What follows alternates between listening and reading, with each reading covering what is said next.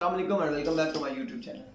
Students आज के इस वीडियो में हम जिस इंटरव्यू क्वेश्चन के बारे में बात करेंगे, वो होगा कि in case of fire incident आपने इमीडिएट क्या एक्शन लेने हैं? यानी कि आपकी साइड पर अगर फायर लग जाती है तो आप फायर के लगने के बाद क्या इमीडिएट एक्शन लेंगे? कैसे आप लोगों को इन्फॉर्म करेंगे? तो सबसे पहले क्या है कि आपके जो nearest fire alarm call point होगा, आपने उसका सिंपली क्या होता है कि उसका आपने ग्लास ब्रेक करना है और अंदर उसके आपने प्रेस कर देना है। इससे क्या होगा कि तमाम प्लान में या तमाम जो प्रिमसेस है, उसमें फायर अलार्म हो जाएगा, सब लोगों को नोटिफाई हो जाएगा, सब लोगों को पता चल जाएगा कि आग लग चुकी है, हमारे पास आग का इंसिडेंट हो चुका है। उसके बाद क्या होगा कि अगर आप तो प्रोफेशनल हैं, आप ट्रेंड हैं तो अब आप आग बुझाने की तरफ़ जाएँगे।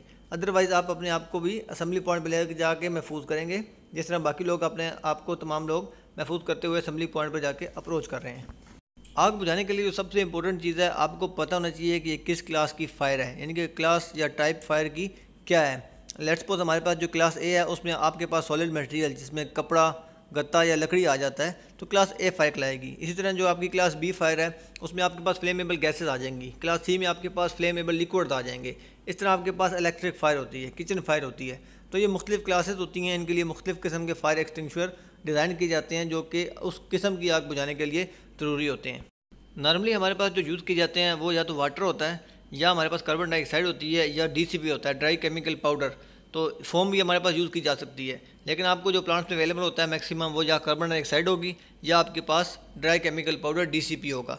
तो सबसे पहले अगर आपने यूज़ करना है कार्बन डाइऑक्साइड तो वो आपके सिर्फ़ इलेक्ट्रिक इक्विपमेंट्स के लिए यूज़ किया जाएगा। अदरवाइज़ आपकी ऑलमोस्ट तमाम टाइप ऑफ़ फायर डीसीपी या dry chemical powder fire extinguisher he right type of fire extinguisher होता है, उसी से आप आग बुझाएँगे तो आपकी आग सेफली बुझ जाएगी। अच्छा आपने फायर एक्सटेंशर यूज़ कैसे करना है? तो इसके लिए हम पास स्नैरियो यूज़ करते हैं। सबसे पहले पुल द पिन आपने उसकी पिन निकालनी है। फिर आपने एम टू द बेस उसकी जो नोज़ल है, वो आपने आग की बेस की तरफ़ टारगेट करनी है। उसके बाद क्या है कि आपने सिक्वीज द लेवल करना है।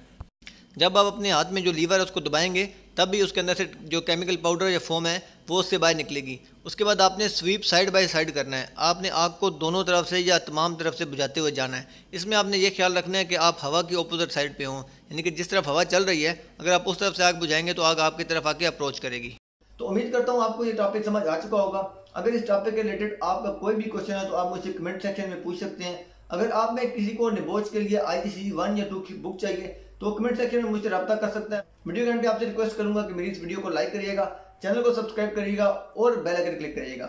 इसके साथ इस वीडियो का लिंक अपने उन तमाम दोस्तों को सेंड करिएगा, जो कि निबोश आई को उर्दू या हिंदी जबान में करना चाह रहे हैं।